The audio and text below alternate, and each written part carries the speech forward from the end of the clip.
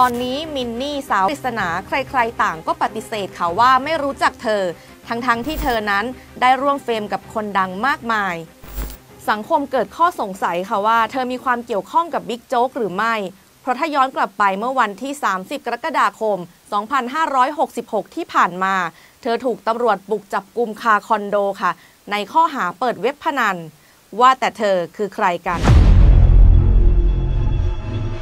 มินนี่หรือนางสาวสุชานันสาวคนสวยอายุ 20 ปลายปลายๆเธอตกเป็นผู้ต้องหาถูกตำรวจ PCT บุกจับคาคอนโดค่ะ เมื่อวันที่ 30 กรกฎาคม 2566 ที่ผ่านมา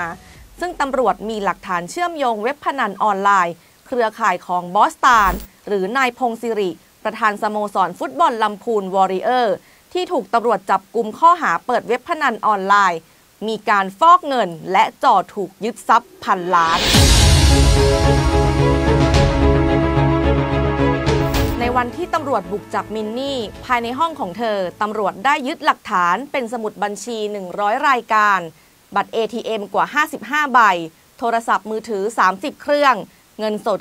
920,000 บาท และอุปกรณ์อิเล็กทรอนิกส์หลายรายการ รวมมูลค่าทั้งสิ้นหลักล้าน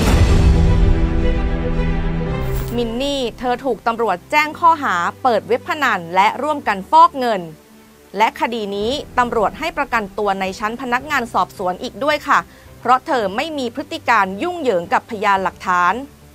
ข่าวของเธอเงียบไปค่ะ เธอตัดขาดจากโลกโซเชียลทั้ง Instagram และ Facebook จนกระทั่งตำรวจเข้าค้นบ้านบิ๊กโจ๊กชื่อของเธอก็กลับมาเป็นจุดสนใจอีกครั้ง เมื่อมีคนปล่อยคลิปงานเลี้ยงแบบ Exclusive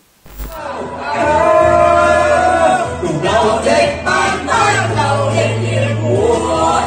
สร้างตัวเธอไม่สนใจเราเด็กไม่มีใครรู้เลยค่ะว่า ในวันนั้นเป็นงานเลี้ยงอะไร เธอและบิ๊กโจ๊กสนิทสนมกันมากน้อยเพียงใด แต่ในขณะเดียวกันก็มีภาพนี้ถูกปล่อยออกมาค่ะภาพนี้ทำให้สังคมเชื่อไปในทางเดียวกันค่ะว่า มินนี่ เธอมีความสนิทสนมกับพันตำรวจเอกภาคภูมิพิศมัย รองผู้บังคับการสืบสวนสอบสวนตำรวจภูธรภาค 4 ซึ่งพันตำรวจเอกภาคภูมิ เป็นนายตำรวจทีมงานของบิ๊กโจ๊กที่ไม่ว่าบิ๊กโจ๊กจะเดินทางไปทำคดีไหน ก็จะเห็นผู้ชายคนนี้ลงทำคดีด้วยเสมอ ความสัมพันธ์ระหว่างมินนี่และบิ๊กโจ๊กบิ๊กโจ๊กชี้แจงแล้วค่ะว่า วันนั้นเป็นงานเลี้ยงลูกน้องที่มาช่วยงานศพพ่อ เขาไม่รู้จักมินนี่เป็นการส่วนตัวเลย คือผมต้องเรียกว่าวันนั้นเนี่ยมันเป็นวันเลี้ยง เลี้ยงลูกน้องนะครับ เลี้ยงผมก็ถือโอกาสเลี้ยงลูกน้องไปในตัว แต่ว่าใครจะเอาใครมา ผมก็ไม่รู้นะครับเอาส่วนผู้หญิงคนดังกล่าวเนี่ยผมเรียกว่าผมไม่รู้จัก แล้วผมก็ไม่ไม่มีความเชื่อมโยง ไม่มีการติดต่อไม่มีเบอร์โทรศัพท์นะครับนี่คือคำตอบจากบิ๊กโจ๊กค่ะ แต่ความสัมพันธ์ระหว่างพันตำรวจเอกภาคภูมิและมินนี่นั้น ยังไม่มีใครรู้เลยค่ะว่าทั้งสองมีความสัมพันธ์แบบไหนกันแน่ อีจันจึงได้ติดต่อไปหาทนายตั้มค่ะ เพื่อหาคำตอบว่ามินนี่เธอคือใคร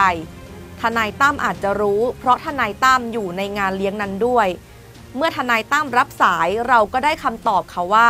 ไม่ให้สัมภาษณ์ และเรื่องนี้ต้องไปถามบิ๊กโจ๊กเอาเอง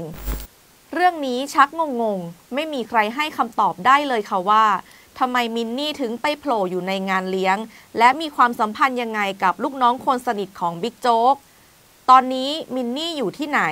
คดีอยู่ในขั้นตอนไหนแล้ว เรื่องนี้คงต้องจับตาดูกันต่อไป เพราะว่าเรื่องนี้เป็นเรื่องใหญ่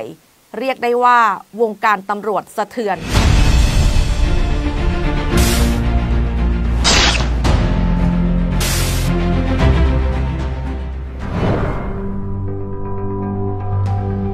กฎหมายไม่มีเปิดเผยบนปืนทีเดียวฆ่าหันศพ